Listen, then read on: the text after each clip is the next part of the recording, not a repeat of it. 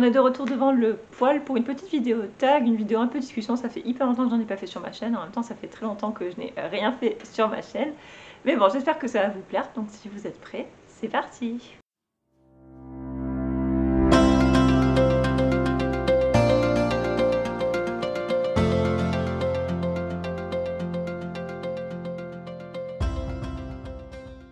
Hello tout le monde, j'espère que vous allez bien. Moi je suis ravie de vous retrouver aujourd'hui dans une nouvelle vidéo. Et aujourd'hui on va euh, faire, comme vous l'avez vu dans le titre, une vidéo tag. Donc c'est mon amie Melissa de la chaîne Melissa Art qui m'a tagué pour le tag 12 top 12 flop qui il me semble a été créé par Zazou en couleur. Je vous, je vous mettrai les chaînes des deux euh, en barre d'infos pour que vous puissiez aller voir leurs vidéos. Euh, je ne sais pas si, puisque je tourne mes vidéos très à l'avance, donc je ne sais pas s'il y a d'autres personnes qui m'ont tagué entre temps. Si c'est le cas, je suis désolée, mais je n'aurais pas vu euh, euh, votre tag à ce moment-là. mais en tout cas, merci beaucoup Mélissa d'avoir pensé à moi, ça me fait très plaisir. Alors le but de ce tag, c'est de vous montrer 12 coloriages qu'on considère comme des tops, donc nos plus beaux coloriages, et 12 coloriages qu'on considère comme des flops. Euh, alors moi j'ai pas beaucoup de coloriage parce que finalement je colorie pas tant que ça. Euh, donc ça a été très compliqué pour moi d'en trouver 12 et 12 donc j'ai transformé en fait un petit peu le tag. Et je vais plutôt vous présenter 5 euh, coloriages top et 5 coloriages et j'ai aussi, aussi, choisi de vous présenter deux matériels qui pour moi sont des tops et deux matériels qui pour moi sont des flops et pareil un livre ou un type de livre en tout cas qui est un top et un type de livre qui est un flop voilà comme ça ça permettra de changer un petit peu de vous présenter ben, du coup 7 non 8 du coup 5, 6, 7, 8, 7, 8 top et 8 flop. Et, euh, et voilà, donc j'espère que ça vous plaira. Donc on va commencer euh, par les coloriages que je vous montrerai face bureau pour que vous puissiez mieux voir. Euh, et ensuite, je vous montrerai en face caméra les différents matériels ainsi que les différents livres. Donc j'espère que ça va vous plaire. Pour la partie sur mes mains, je passe, enfin je vais filmer avec mon téléphone parce que je trouve qu'il rend mieux les couleurs. C'est un peu voilà, on se demande pourquoi on achète des caméras des fois. Mais en tout cas, je vais vous montrer euh, d'abord mes 5 tops, enfin, ce que je considère comme des coloriages que j'ai réussi. Il y a un seul coloriage Disney dans cette catégorie, enfin dans ce top. Voilà. Euh, et euh, il est dans ce livre-là, le Disney Mickey Friends. C'est un livre que j'adore, j'adore. vous l'avez déjà vu ce coloriage si vous avez vu ma vidéo top 10 des plus beaux, enfin de, de des coloriages que je considère comme mes plus beaux. J'ai du mal à dire ça hein, parce que c'est dur, je trouve que c'est un peu... voilà, mais c'est celui-ci, donc c'est un coloriage que j'avais fait avec trois autres colocopines, donc Stéphanie de Sister Love, Sister Love Creation sur YouTube et sur Instagram, ainsi que Myriam et Célestine de la chaîne YouTube Les Passions de Céloriane. Et on s'était trop éclaté à faire ce coloriage et euh, depuis tout ce temps, parce que ça fait un an et demi, voire deux ans peut-être, euh, bah, je considère toujours ce coloriage comme un de mes plus réussis. Euh, je m'étais éclatée à le faire et en fait là, il y avait un soleil, juste en rond dessiné, et bah, j'ai ajouté Mufasa dans le ciel pour voilà apporter un peu de profondeur et décider un petit peu de ce que prenait en photo Mickey et j'ai trop aimé, j'adore le rendu. franchement, je suis, je suis vraiment contente, c'est la première fois aussi que je faisais Excusez-moi, il y a mon chien qui a décidé que là, c'était le meilleur endroit pour se coucher. Euh, donc c'est la première fois aussi que je faisais des nuages à la peinture acrylique, donc c'était vraiment un test. Le fond est fait à la peinture acrylique aussi, euh, et le reste au Prismacolor qui fonctionne plutôt très bien sur ce papier, je trouve. J'avais trop aimé faire ce coloriage et ça reste un de mes préférés. Ce livre est vraiment trop beau, j'ai beaucoup de mal à y retourner, bah, je, n'y suis pas retournée depuis ce coloriage d'ailleurs, mais, euh, mais voilà, j'avais beaucoup aimé ce fond, je suis assez fière du rendu, faut le dire quand on, quand on est content, et, et voilà, ça reste un des coloriages, pour moi un de mes coloriages top entre guillemets. Euh, que j'avais adoré imaginer et réaliser. On passe ensuite dans du plus petit format, puisqu'un des coloriages que j'ai le plus réussi, je trouve, euh, il est dans le Nice Little Town 4, et euh, le voici. Il s'agit de ce coloriage-là que j'ai réalisé il y a aussi un petit moment. je l'avais fini d'ailleurs quand j'étais en vacances l'été l'année dernière. Donc oui, ça fait un moment effectivement. je l'avais réalisé celui-ci au... je ne sais plus. Euh, je crois que c'était au Castel Art Supplies, oui c'est ça, euh, avec de l'aquarelle pour le fond et euh, des touches de Posca blanc. Euh, et c'est tout, hein, je crois. Euh, et j'avais trop aimé le faire. Euh, ouais, c'était vraiment du plaisir. Alors, je suis vraiment pas fan hein, de ce papier que je trouve. bon, voilà. Bref, c'est comme ça. Mais j'aime beaucoup les dessins dans les livres Nice Little Town et j'avais particulièrement aimé faire ce coloriage. J'aime beaucoup le rendu et ouais, et c'est vrai que c'est souvent quelque chose que je fais en général quand je dessine un bâtiment. Quand je fais mon fond, je fais l'intérieur des fenêtres de la couleur du ciel en fait tout le temps ça, mais j'aime bien le rendu pour celui-ci. On dirait vraiment que le ciel se reflète dans les fenêtres et, voilà. Et c'était bah, comme d'habitude hein, une palette de couleurs assez restreinte parce que je fais toujours ça et j'aime bien le rendu. Voilà, donc ça reste un décolorage que j'ai préféré faire et il faut vraiment que j'arrive à retourner dans les Nice Little Town parce que les dessins sont vraiment jolis. Après celui-là c'est pas forcément mon préféré, dans les autres il y a beaucoup plus de petites souris donc je les trouve plus mignons mais euh, n'empêche que j'aime beaucoup ces petits livres là. Un autre de mes coloriages préférés, c'est dans euh, le livre d'Aim Winter Darloop de Rita Berman, donc dans le livre Les Petites Bêtes. Il s'agit de celui-ci, donc de cette page-là, avec les euh, alvéoles et les abeilles et les petits papillons et les fleurs, ça fait beaucoup de et. Euh, j'avais beaucoup aimé faire ce coloriage que j'ai fait au printemps. après avoir arrêté de colorier pendant un petit moment, j'avais repris mes crayons et j'étais allée dans ce livre que j'adore pour faire cette page-là. Et j'avais choisi de faire les alvéoles en bleu et de rester bah, comme d'habitude dans une palette de couleurs assez restreinte. Donc là tout est fait au polychromos avec quelques touches de Posca blanc. Je me suis aidée du tutoriel du livre coloriste spécial Effect 3 pour faire les alvéoles, sauf qu'elle elle les fait en jaune, mais du coup moi j'ai juste adapté avec du bleu. Et, voilà, et je me suis trop éclatée. Je trouve que les ben, polychromos fonctionnent trop trop bien sur ce papier, euh, qui est vraiment sympa. Et euh, j'adore le rendu. Franchement, je, suis assez fière de ce coloriage. Et bon, évidemment, c'est du bleu, donc forcément, j'aime bien. Mais euh, ouais, c'est un coloriage que j'avais adoré réaliser. J'y avais passé du temps quand même, parce que c'est vrai que toutes les alvéoles, c'est assez long à faire, mais j'aime beaucoup le rendu. Et vous avez d'ailleurs pas mal plu sur Instagram celui-là, mais c'est un coloriage que moi, j'aime particulièrement. Et de toute façon, j'aime globalement particulièrement ce livre. Euh, voilà, mais vous le savez, je vous en parle très souvent. Et pour terminer, euh, je colorie tellement souvent dans ce livre-là qu'il y avait forcément euh, deux de mes coloriages préférés à l'intérieur. Il y a un autre coloriage, un de mes tout derniers que je qui devrait faire partie de ce top, mais qui n'est pas dans ce livre-là, qui est dans un autre livre d'Anna Carson, mais comme je ne l'ai pas encore publié sur Instagram euh, et que je ne l'ai pas encore sorti sur YouTube, je considère que euh, c'est, il n'est pas encore, euh, voilà, il fait pas encore partie de mes coloriages réalisés, mais il n'empêche qu'il y a deux coloriages que j'aime particulièrement dans le livre Daydreams de Anna Carson et je vais trouver le jour où je marquerai mes pages. Hein, voilà.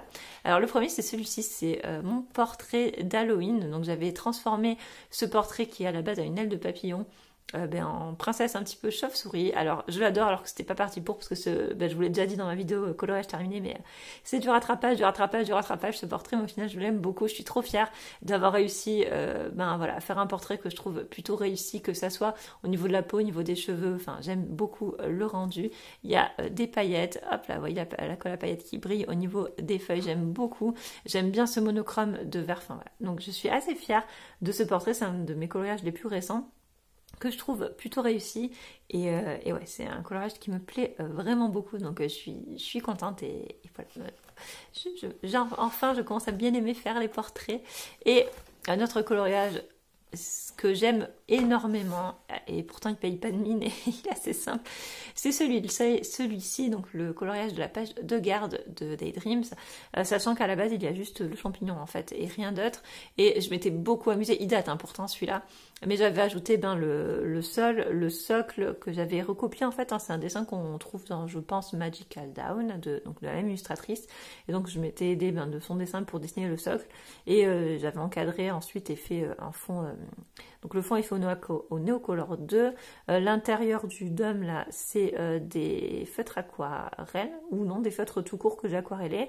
Euh, et tout le reste, il me semble que c'est du polychromos. Je ne suis pas sûre à 100%, mais il me semble que c'est ça avec du Posca blanc.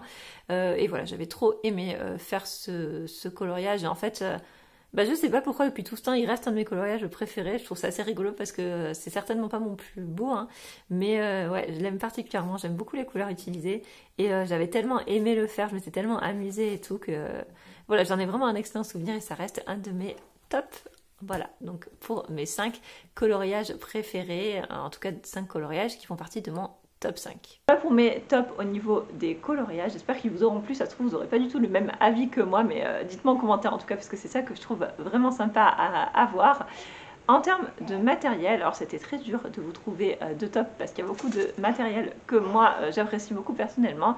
mais en tout cas, le premier top que je vais vous présenter qui est pour moi un indispensable et quelque chose que j'apprécie beaucoup, Je ne vous montre pas la boîte parce que je ne l'ai plus, je l'ai euh, jetée en fait, j'ai tous mes crayons dans des trousses et euh, la trousse est pas là et j'ai la peine d'aller la chercher, bref. Mais ce sont les crayons de couleur Prismacolor, ce sont je pense franchement mes crayons préférés, en tout cas des gammes que je possède actuellement au moment où je tourne cette vidéo. Euh, je les ai depuis que j'ai quasi commencé, hein, donc ça fait 3 ans que je les ai. Euh, alors, je sais qu'ils suivent vite, mais moi, ben, ne colorions pas tant que ça. Finalement, je les ai encore tous. Euh, ils font tous largement plus de la moitié, donc j'en ai aucun en fait qui est vraiment usé. Et c'est vrai que les Prismacolor, quand je les utilise pas pendant un moment, et que je les réutilise, je me dis mais pourquoi est-ce que je, ne les utilise pas à chaque fois? Parce que je les trouve tellement crémeux, tellement faciles à utiliser, tellement intenses aussi en termes de couleurs. c'est vrai qu'ils s'effritent facilement. Et ils ont tendance, en termes de défaut, à laisser un petit dépôt en fait sur euh, le coloriage. Donc c'est vrai que euh, si vous coloriez par exemple en bleu et que vous ne faites pas attention, vous risquez de mettre du, bah, bleu en fait à, cause des dépôts. Euh, voilà, mais sinon bah, je ne leur trouve pas beaucoup de défauts et c'est vraiment une gamme que j'apprécie particulièrement, que je trouve parfaite quand on commence ou même quand on ne commence plus hein, du coup. mais voilà, on fait des dégradés hyper facilement, les couleurs se mélangent facilement et à partir de la gamme qui est déjà très grande puisqu'il y a 150 crayons, vous pouvez obtenir encore d'autres couleurs en faisant des mélanges. Donc, voilà, pour moi c'est vraiment un top. Euh, je pense que ça sera toujours un top, euh, même si j'ai d'autres gammes de crayons à l'avenir, euh, mais ça reste, voilà. ils sont chers à mon cœur et c'est la première gamme de crayons un peu chère que je me suis offerte et je n'ai aucun regret puisque je les utilise toujours actuellement et toujours avec beaucoup de plaisir. Un autre top matériel que euh, je réapprends à utiliser, que j'avais un petit peu laissé de côté, c'est euh, l'aquarelle nacrée et notamment la palette d'aquarelle nacrée Paul Rubens. Je vous l'avais présenté, je crois, ah, vous voyez les couleurs, je l'avais présenté, je crois, dans une vidéo euh, haul et dans une vidéo où je vous montrais ce que je faisais avec mes aquarelles nacrées. Évidemment, on voit rien si vous voyez là que ça brille, hein, c'est trop beau. donc l'aquarelle nacrée, notamment la palette Paul Rubens, c'est un matériel que j'ai tendance à laisser un peu de côté au profit d'autres euh, matériels comme la colle à paillettes par exemple, mais que quand je la réutilise, j'adore. Parce qu'en fait déjà, euh, le défaut de la colle à paillettes, c'est que au dos du papier, ça donne un effet un peu texturé. Et quand on colorie, euh, ben, ça peut faire des traces en fait, et que ce, ne, ce que ne fait pas du tout l'aquarelle, puisque c'est ben, de la peinture, donc ça ne va pas faire ça. Et ça permet aussi d'avoir un effet un petit peu plus, euh, un petit peu plus discret, on va dire, un petit peu plus doux. Donc c'est pour ça que j'apprécie beaucoup ce matériel. Alors le problème de tout ça, tout ce qui brille, c'est qu'on ne voit rien en photo et on voit très mal à la caméra. Mais euh, voilà, c'est un matériel que moi euh, j'aime beaucoup et je trouve que cette palette, elle est vraiment trop belle. Elle a des couleurs qui sont juste incroyables et vous avez un grand choix en termes de gamme de couleurs. Je vous montre le nuancier, je ne sais pas si vous verrez bien, mais euh, voyez les, couleurs, je vais essayer de faire briller. c'est si moche à la caméra. Euh, mais voyez que voilà, on a vraiment une très très belle gamme de couleurs et ça brille, brille, brille beaucoup. Et euh, c'est vrai que, que ça soit... Enfin moi en général, ce que, je fais avec l'aquarelle nacrée, c'est que je l'utilise sur mon fond en fait. Une fois que j'ai fait mon fond, j'aime bien en appliquer par-dessus dans les mêmes teintes. C'est pour ça que j'aime bien cette palette parce que ça me permet de trouver n'importe quelle teinte finalement. Et, et, je trouve que ça donne un rendu qui est vraiment chouette. Donc c'est un top et euh, ça fait très longtemps que j'aime cette palette d'aquarelle et je ne m'en lasse toujours pas. On va maintenant passer au top en termes de livres. Alors c'est pas tant le livre en lui-même parce que même si j'aime beaucoup ce livre, c'est pas euh, un top pour moi, mais euh, je voulais vous montrer l'édition. Par contre, je voulais vous parler du top en termes d'édition. je trouve que honnêtement, les éditions Mus et globalement les éditions néerlandaises en termes de papier sont les meilleurs. Le papier est hyper lisse, hyper épais. On peut faire ce qu'on veut dessus, ça ne traverse pas, sauf évidemment euh, tout ce qui est vraiment feutre alcool ou si vous détrempez votre page, hein, ça va traverser, ça reste du papier. Mais euh, je trouve que ouais, les éditions Mus euh, les éditions néerlandaises ont un papier, bon évidemment la caméra vous n'allez rien voir, mais c'est du papier qui est hyper hyper épais, on le voit, euh, ben, moi qui ai des livres de Anna Carlson en édition euh, anglaise et en édition euh, néerlandaise, honnêtement il y a vraiment une grosse différence et pour moi c'est vraiment un top. Si jamais vous voulez vous lancer dans tout ce qui va être aquarelle et tout, franchement foncez sur ces éditions là parce que vous n'aurez pas peur d'abîmer votre papier vous n'aurez pas peur que ça transperce et même que ça gondole. C'est vraiment, euh, pour moi, c'est les meilleurs. Euh, et je ne comprends pas qu'on n'ait pas cette qualité. voilà, même en France, alors j'imagine que c'est une histoire de coût, mais euh, je me dis des grosses maisons d'édition comme Hachette et tout, je comprends pas qu'on puisse pas avoir ce type de papier-là, euh, surtout au prix où on paye euh, certains livres. voilà, parce que ces livres-là, ils restent pas forcément plus chers, même pas plus chers que des éditions anglaises, en tout cas pour les livres de cette illustratrice, donc de Anna Cardon, que j'adore. Mais ouais, ça c'est vraiment un gros gros top pour moi et voilà, j'aime beaucoup. et je vous conseille vivement, si vous voulez vous procurer des livres d'Anna Carlson ou de Maria Troll, de vous orienter vers ces éditions-là, vous ne serez pas déçus en termes de qualité de papier.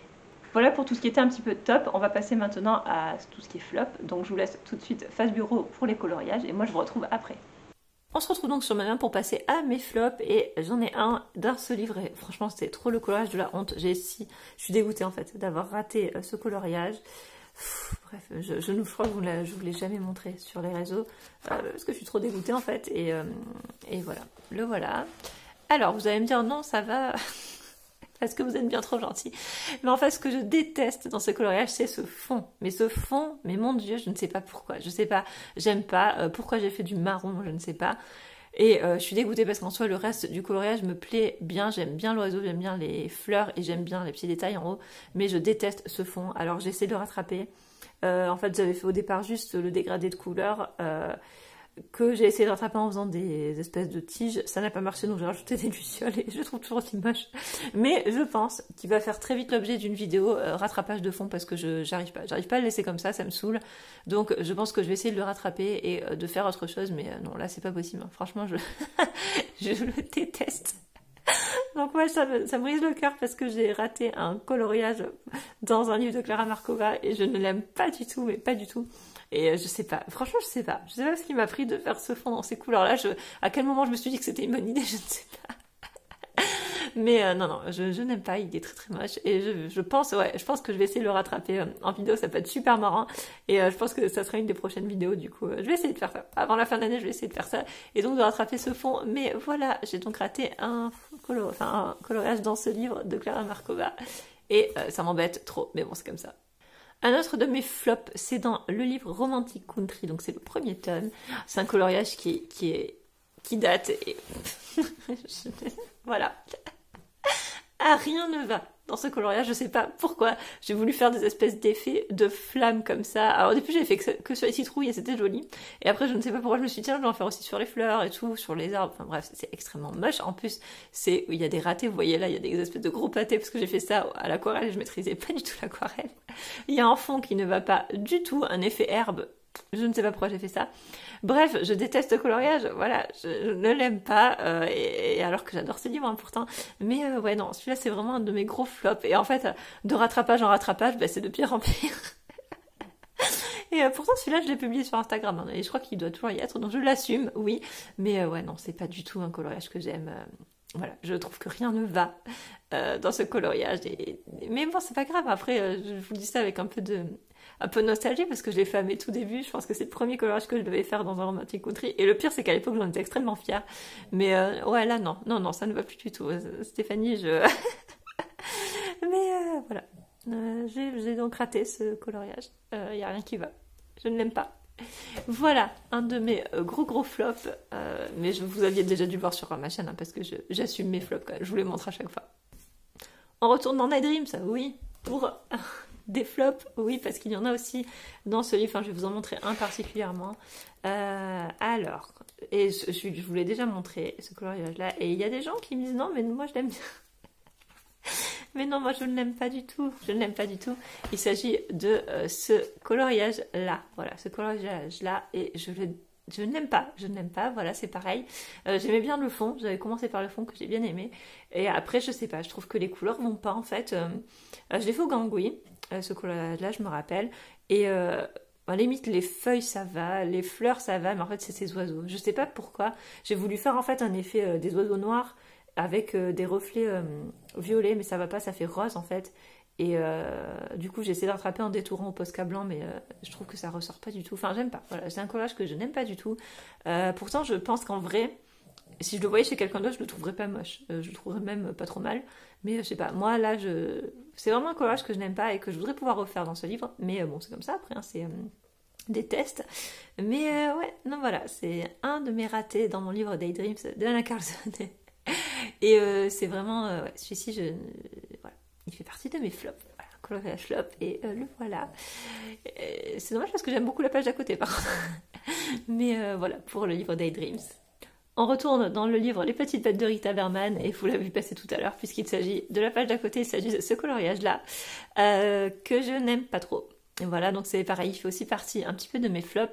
Il y a un truc que j'adore dans ce coloriage, c'est l'effet de hum, brillant là autour des ailes. Et le fond, j'aime bien le fond du milieu là, fait au, crayon, euh, tout fait au Castel Art Supply, me semble-t-il. Mais sinon, je n'aime pas le reste. J'aime pas du tout mon choix de couleur, euh, ce rouge là sur la baie ainsi que le rouge autour. J'aime pas du tout. J'ai rajouté des fleurs autour que j'ai dessiné mais je ne les aime pas. J'aime pas du tout mon fond à l'aquarelle. Enfin bref, le reste je n'aime pas. pour autant, je trouve que le résultat est pas si moche en soi quand on regarde comme ça. Mais euh, c'est pas un coloriage qui me plaît euh, et euh, si je le refaisais, je ne le referais certainement pas comme ça. Mais ouais, voilà, c'est pas du tout un coloriage que j'aime. même je trouve que le rouge autour est pas du tout intense. Enfin voilà, voilà, un petit flop. Hein. Euh, c'est dommage parce que j'aime aussi beaucoup la page d'à côté. Mais euh, c'est pas grave, c'est comme ça. Et euh, on apprend, on apprend toujours en, testant des choses. Mais par contre, j'aime bien comment j'ai fait les ailes. Voilà, c'est, je pense, la chose qui me plaît le plus dans ce collage, c'est la manière dont j'ai réalisé les ailes. Et, et, j'aime bien le fond. C'était la première fois que je faisais un fond comme ça au crayon de couleur avec des petites boules de lumière. Et j'avais beaucoup aimé. je trouve que le, le, rendu est chouette. Mais sinon, c'est vrai que le reste. voilà, voilà, moyen, moyen pour ce livre-là. Et pour finir, on retourne dans ce livre-là, je, vous le mets dernier parce que c'est un très grand format et il y a un coloriage que je n'aime pas euh, dedans. Et en fait, c'est le premier coloriage que j'ai fait dedans, enfin le premier, et euh, enfin pas le seul parce que j'en ai, fait un autre que je vous ai montré tout à l'heure, mais j'en ai fait que deux en fait. Hein. Et euh, j'aimerais bien le trouver avant demain si ce serait chouette. C'est un coloriage de dingo que vous avez vu passer sur ma chaîne parce que je vous l'ai déjà montré aussi. Je vous présente le livre hein, du coup. mais il est où? Mon dieu, je suis si nulle en préparation de vidéo. C'est fou ça, il doit pas être loin parce que j'ai vu des dingos passer. Là, voilà, c'est ce coloriage là. Alors en fait, j'aime beaucoup ce coloriage, sauf le fond. Euh, et après, mais ça vous les voyez pas trop à la caméra, il y a pas mal de traces, euh, notamment au niveau du, du là. Euh, j'ai utilisé les Prismacolor, en fait le bleu j'ai utilisé la couleur claire là, il est ultra ultra ultra gras et du coup il était vraiment très très dur à travailler et du coup j'ai pas mal de traces. Euh, mais bon, après en soi, le dingo me plaît. Euh, l'effet or que j'ai fait à gauche me plaît aussi. Ce que j'aime pas et ce que je trouve qui gâche un peu ce colorage, c'est le fond. Et euh, si je le refaisais aujourd'hui, j'essaierais de faire, je pense, comme un fond couleur, vous savez, journal, vieux journal, et rajouter des écritures en fait. Je pense que j'aimerais bien le refaire pour ça. Je sais pas si je peux le faire par-dessus du pastel, ou enfin je sais pas, il faudrait que j'essaye.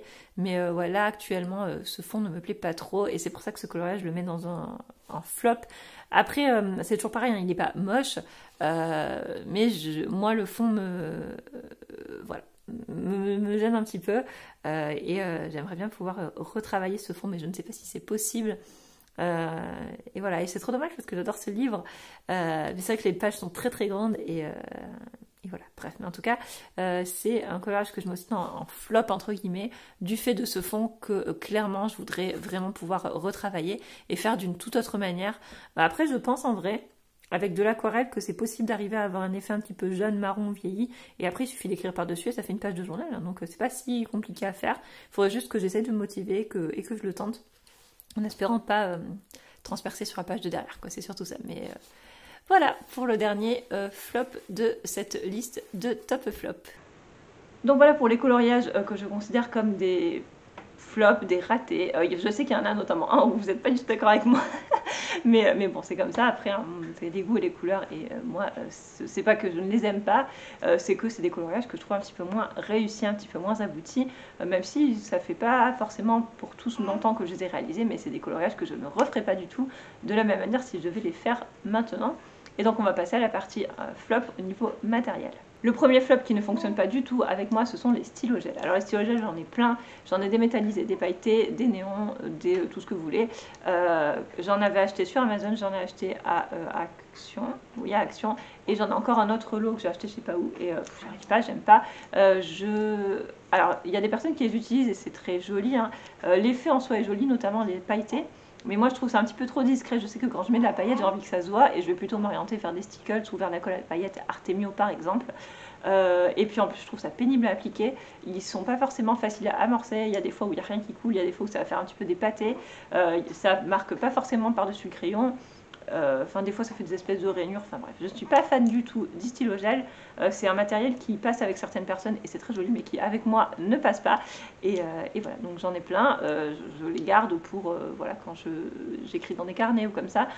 mais sinon, en coloriage, je ne m'en sers jamais. Et d'ailleurs, tous ceux que j'ai, je pense que je les ai depuis 3, 4, 5 ans et ils sont toujours tous pleins. C'est pour vous dire à quel point je ne les utilise pas. Heureusement, c'est pas des matériels que j'ai payé très cher, mais ce n'est pas quelque chose que vous verrez beaucoup sur ma chaîne et que vous avez d'ailleurs beaucoup vu puisque je ne suis pas sûre d'en avoir utilisé dans un coloriage euh, ces deux dernières années. Voilà, mais bon, je les ai. je peux écrire avec, c'est cool, mais en tout cas en coloriage, ça ne passe pas avec moi. Je vous ai fait un color and chat où j'utilise ces crayons-là euh, ben, il y a 2-3 semaines. Enfin, je vous mettrai de toute façon, comme d'habitude, les liens euh, des produits ainsi que la vidéo en barre d'infos. Donc les gangouilles, pour moi, c'est un flop. Voilà, c'est des crayons que euh, j'ai beaucoup appréciés quand je les ai euh, eus, quand je les ai achetés, et je vais poser la boîte parce que c'est lourd maintenant que vous les avez vus. Euh, donc c'est des crayons que j'ai beaucoup appréciés quand je les ai achetés parce qu'il y a une grosse gamme de couleurs qui n'étaient pas chères et que je trouve, et ça c'est toujours vrai, que les couleurs sont très sympas. On a notamment des couleurs un petit peu girly, des choses très flashy, des très jolies roses, des jolis bleus, des jolis verts, enfin des couleurs qui sont jolies en soi. Mais je trouve qu'ils ont plusieurs gros défauts. Déjà, je les trouve un petit peu secs pour moi parce que j'aime beaucoup les crayons gras et donc euh, les gangouilles ne me conviennent plus forcément maintenant euh, au vu de la manière dont je colorie et dont je les utilise. Et en plus je les trouve fragiles, c'est-à-dire que euh, quand on les taille, enfin moi quand je les taille, j'aime bien que ça soit assez pointu pour faire notamment tous les petits détails que je fais aussi au crayon de couleur. Et bah, je trouve que la mine a tendance à casser ultra vite. Donc voilà, c'est aussi pour ça que je ne les apprécie plus. Je ne pense pas les garder. Je pense que je les mettrai en vente sur Vinted prochainement. C'est des crayons que j'ai beaucoup appréciés, que beaucoup de personnes apprécient, que je comprends parce que j'ai bien aimé les utiliser. Mais maintenant, vu la manière dont je colorie, et en plus comme j'ai d'autres hum, crayons que je préfère largement, euh, c'est un matériel qui est un petit peu en flop pour moi et c'est euh, plus du tout des crayons que j'utilise. Et euh, bah, d'ailleurs, ils sont quasi très, très très peu utilisés. Il y a juste quelques crayons qui sont utilisés mais à un quart à peine, et sinon ils sont tous neufs. voilà, donc, euh, donc, voilà, pour moi les gangouilles c'est un petit peu un flop, et euh, bah, c'est dommage parce que la gamme de couleurs est sympa, ils sont pas chers, mais euh, j'ai mieux, j'ai du matériel que je préfère et j'utilise beaucoup plus facilement et, de manière bah, que je préfère utiliser tout simplement. Et enfin, pour terminer avec ce flop, je vous présente mon flop livre. Alors, c'est exactement comme euh, les livres que je vous ai présentés avant. Je ne vais pas parler de livres en soi parce que j'adore ce livre que je trouve sublime et que j'aime beaucoup l'illustratrice. Euh, mais c'est plutôt en termes de qualité de papier. Euh, pour moi, les qualités, enfin, ces livres-là, en fait, ils sont édités. sur du papier imprimante en fait. Voilà, donc c'est du papier qui est extrêmement fin. je je sais pas si vous verrez, mais en fait, ouais, aussi, enfin, je sais pas si vous verrez la caméra. Mais euh, oui, si vous le voyez là, en fait, euh, c'est tellement fin qu'on voit euh, le coloriage, enfin le dessin au dos de la feuille. Enfin voilà, c'est et c'est dommage. En fait, c'est dommage parce que donc je vous parle de ces livres-là, donc des livres de notamment Célina Fennec. On est pareil sur les livres de Annaline, sur les livres de Bonnie Harrison ou encore sur les livres de type Nice Little Town. C'est tout en fait ce style de papier-là. Et je trouve ça dommage parce que la qualité est bah, Enfin, quand on veut utiliser du matériel aquarellable, ça va tout faire gondoler ou ça va traverser. Alors là, on n'est que sur euh, du papier euh, recto, enfin, il n'y a que des colorages recto, donc en soi, c'est pas dramatique, mais c'est désagréable à travailler. Dès qu'on utilise de l'aquarelle, ça va tout faire gondoler. Et euh, c'est dur à récupérer, enfin c'est pas du tout quelque chose que j'apprécie et je trouve ça dommage parce que, ben, les, en tout cas ces livres-là, ceux de Céline Fenech sont de tellement bonne qualité en termes de dessin. vous voyez là par exemple dans tous ces livres, il y a tous les dessins en double. Euh, et moi, je préférais qu'ils y soient encore une fois et avoir du papier de meilleure qualité. Voilà, en gros. Donc c'est pour ça que pour moi, c'est un petit flop parce que les dessins sont sublimes, mais j'ai du mal à aller dans ces livres-là à cause du papier. Et euh, bah, voilà, c'est triste parce qu'ils sont, trop jolis. Mais euh, voilà, c'est pour ça que je les classe dans mes flops. J'espère que vous me comprendrez, mais je ne critique absolument pas le travail de l'illustratrice ou des illustratrices et illustrateurs qui impriment sur ces, voilà, sur ces papiers-là. J'imagine bien que c'est une question de coût. Euh, et peut-être une question d'édition tout simplement. Voilà tout le monde, cette vidéo est maintenant terminée, j'espère vraiment qu'elle vous aura plu. J'ai beaucoup aimé réfléchir à tout ça. Euh, c'était assez chouette en fait et ça permet de montrer un petit peu plusieurs choses. Donc j'espère Mélissa que tu ne m'en voudras pas d'avoir transformé un petit peu le tag.